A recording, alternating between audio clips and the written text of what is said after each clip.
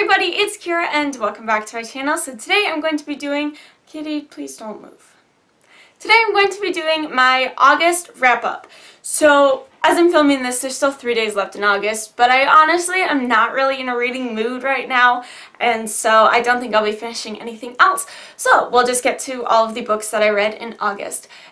Books that I finished in August 1st through 5th will be in my booktubeathon, so if you want to check any of that stuff out, I will leave it linked, all of my booktubeathon stuff linked down below. But the first, first book I finished because of the booktubeathon basically is Through the Dark by Alexandra Bracken. This is a short story collection that takes place in the Darkest Minds universe.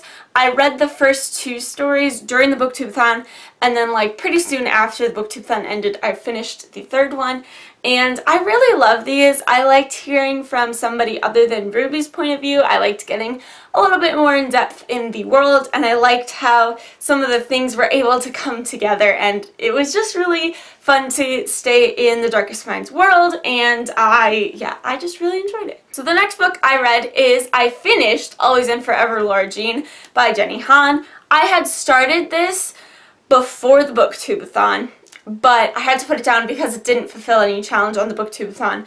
So I finished it after that, and I loved this. I, it was, it was definitely better than the second book, in my opinion. I didn't like the second book nearly as much, eh, mostly because I think it was more an established relationship, so they just had drama, like, with, between Lara Jean and Peter kind of more about like going off to college and things, which I feel like was a little bit more realistic than like the rom-comness of the first book, To All the Boys I've Loved Before.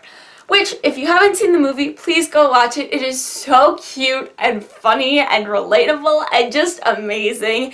It's a rom-com, so like it's not the best thing. It's not like mind-blowing, whatever, like destroy your mind that way but like it's just so cute and fun and enjoyable and I enjoyed finishing off this series and it is definitely going on my wish list of books to get at some point.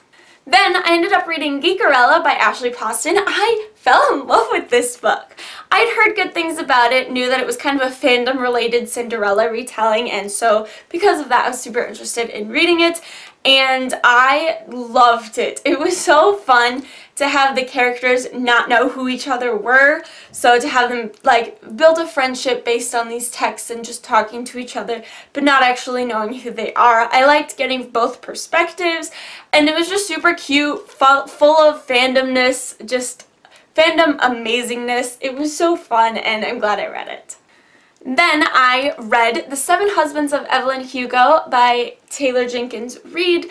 This has been blowing up over, all over booktube so I thought well I have access to a library why don't I just get it and read it. So I did. This, if you don't know what this is about, this is a historical fiction in a way of this movie star who made movies in the 50s, 60s, and 70s and it's her it's Evelyn Hugo telling her life story to this journalist who also has a parallel story happening of her impending divorce. And I thought it was well written.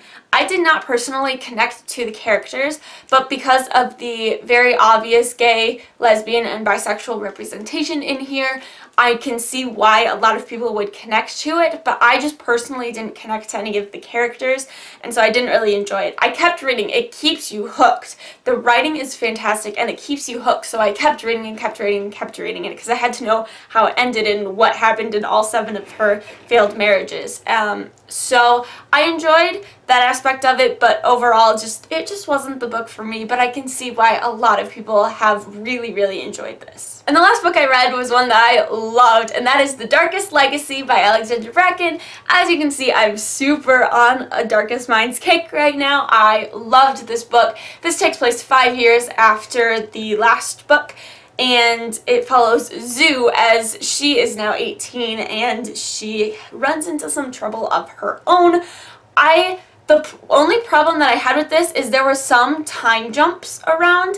It always told you like when it was jumping to, but it was a little bit confusing every once in a while being like, okay, what has happened and what hasn't happened yet, those kind of things.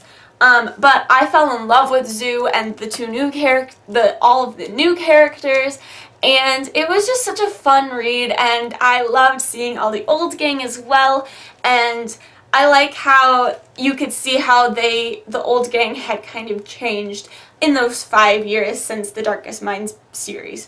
And it was just so much fun and I fell in love with it. And then I did actually DNF a book. I tried reading From Twinkle with Love by Sandhya Menon, but I think I was just kind of done with contemporaries. I don't usually read a lot of contemporaries, and reading a dystopian like The Darkest Legacy put me way back into like a dystopian fantasy craze, and so I just wasn't feeling the contemporary. I only got like maybe 30 pages in, so I didn't get very far. So I'm totally willing to give it another shot at some point, but I have two or two books that are contemporary and one that is historical fiction, which are not something that I usually reach for. So I just kind of reached my limit of that for the summer, which is okay. So I will keep it on my TBR list and hopefully pick it up at another point in time. So those are all the books that I read in August. Comment down below, let me know what you read in August, and I would love to chat with you if you've read any of these books.